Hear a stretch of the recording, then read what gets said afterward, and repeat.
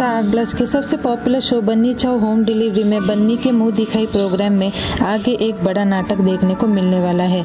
जी हाँ दोस्तों, हाल ही में ये देखा गया है कि कैसे मानिनी युवान और बन्नी के सामने मीठी बनती है और वो इन दोनों के सामने एक बहुत अच्छी माँ होने का नाटक करती है। जहाँ अपकमिंग ट्रैक में ये बताया जाएगा कि युवान और बन्नी की शादीशुदा ज़िंदगी और भी ज़्यादा चुनौतियों से भरती जाती है, जबकि परिवार के विलेंस बन्नी और युवान की ज़िंदगी में और भी कॉम्प्लिकेशन और परेशानियाँ परेशानियाँ पैदा कर रहे हैं। वहीं दूसरी तरफ़ आप देखेंगे कि मानिनी वंदना की साड़ी बन्नी को गिफ्ट में देती है और उसे मुँह दिखाई प्रोग्राम में वो साड़ी पहनने के लिए कहती है।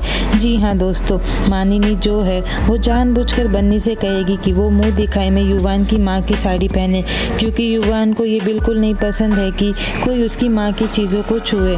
और ये बात मानिनी अच्छी तरह से जानती है। बावजूद इसके, वो बन्नी को परेशानी में डालने के लिए युवान की माँ की साड़ी पहनने के लिए कहती है, जिसके बाद बन्नी वो साड़ी पहन लेगी और जहाँ कहानी में आने वाला है दिलचस्प मोड़, क्योंकि अब यही साड़ी बन्नी के लिए एक मुसीबत खड़ी करेगी। अब ये देखना दिलचस्प होगा कि कैसे बन्नी अपनी मुँह दिखाई की रस्म को बर्बाद होने से बचाएगी।